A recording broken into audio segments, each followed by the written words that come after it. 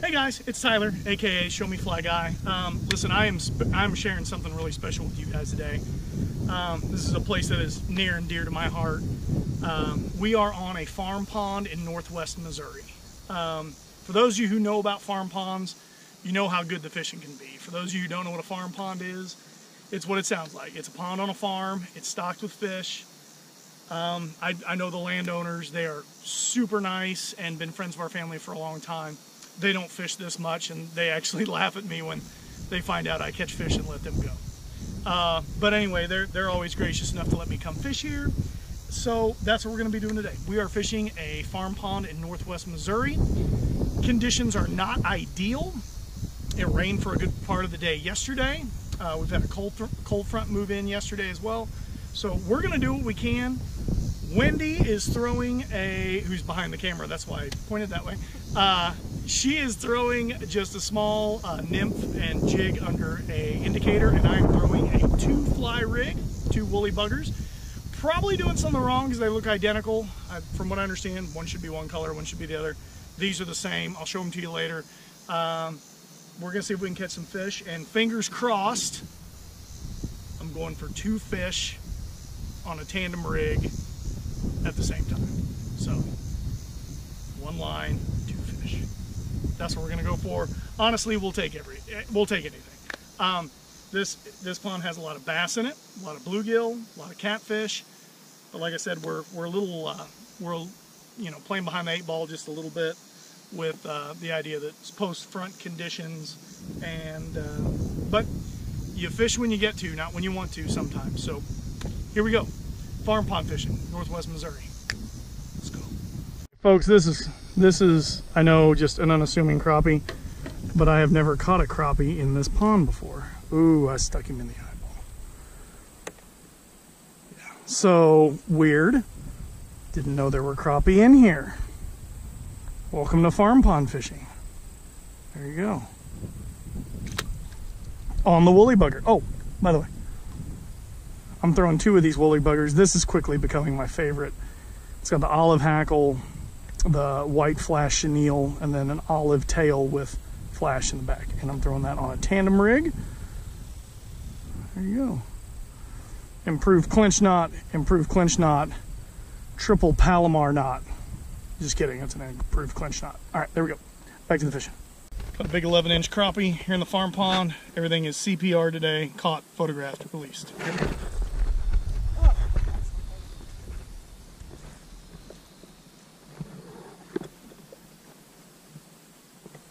Oh my gosh! Holy cow! Are you kidding me? Oh my gosh! Babe! Oh my god, you're switching flies. Yeah, you're going to you're going to the, the, sparkle bugger. Oh my gosh, we have found the crappie. Yeah, there you go. There you go, babe.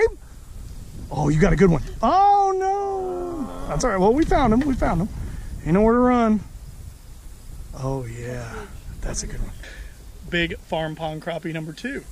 Tw solid 12 inches. Not expecting this today. This is crazy.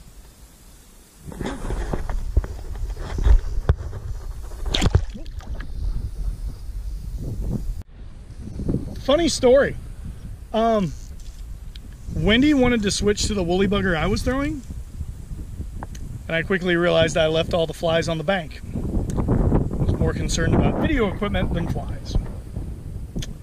So I'm no longer throwing a tandem rig, it's a one fly rig, and thankfully Wendy was able to use the same thing I'm throwing. By the way, you can buy these on my Etsy store. Three bucks a piece, and they're worth it.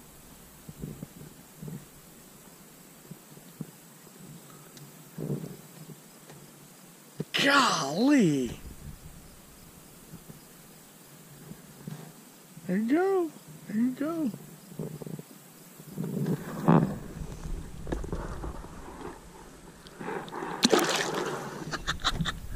Shot from a gun.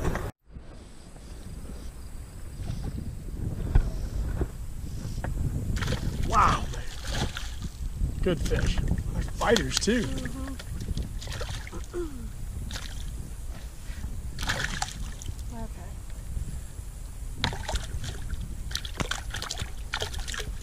It's her first time fishing, folks. yeah. Ah.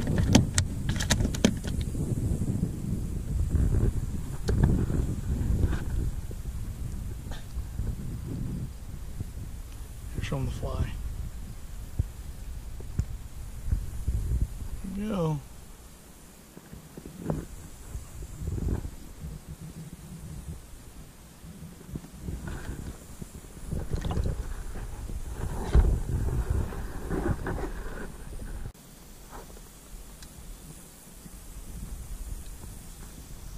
That was much better than the last time.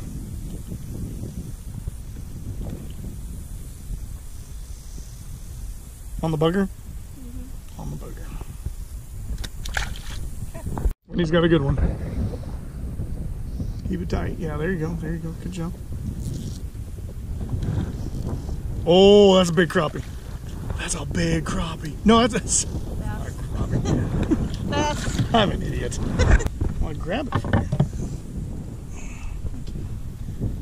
Fly works on bass too. Good fish, man.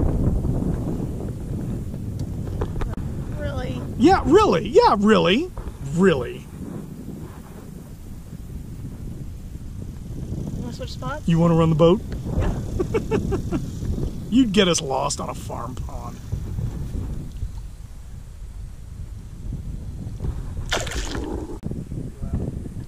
Alright. Not a big one, but biggest bass of the day. On the bugger.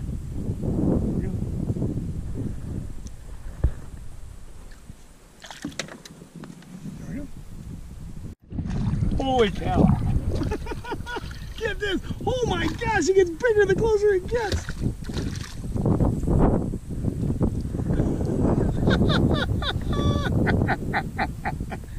that is awesome. Okay, so same fly we've been using all day. Oh. Right at 12 inches. 12 inch farm pond crappie. Shoulders on that dude. Alright, we're gonna let him go. Here we go.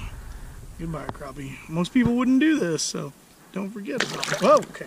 Um, to say that this is a day that was unexpected would be a gross understatement. Uh, I was looking to coming out here and catching some 12 to 14, maybe a 15 inch largemouth. Um, we have boated probably five crappie that are 11 or 12 inches, with the majority of those being 12. Um, I'd heard stories about there being crappie in this pond, but never caught one, and that was about a year ago. So, not only are there crappie, there's good ones, and they're they're hard fighters. Usually, I don't crappie fish because they're just kind of boring and they all look the same. They don't fight real hard. There's something about farm ponds that, like, they grow up tough, like tougher because they have to be. Maybe I don't know. It, it just sounds right, like farm tough, maybe farm strong.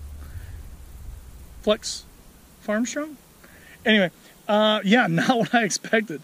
We've regrouped. I'm throwing a tandem rig now. Uh, and I've realized I need to tie a lot more of this fly because they're all coming on the same conehead woolly bugger. So, all right, we're going back out and uh, see what we can do. Good day, man. It's a good day. All right, biggest bass of the day. Not a monster, not a wall hanger, but good one for today.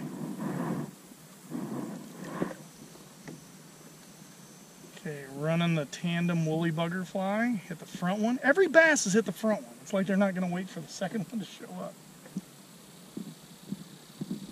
13, 14 inches, but good for today. So, again, we're running a two fly setup. Woolly bugger, white body, olive, everything else. And then the same thing back here.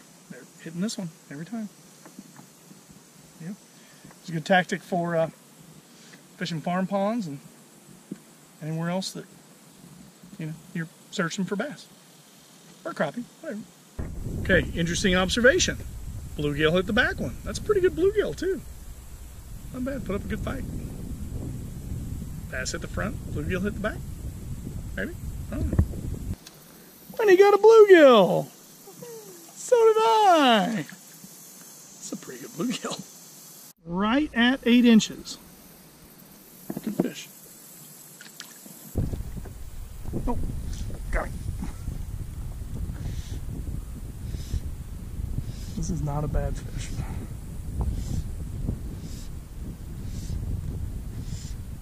What do we got here? The back fly. Oh.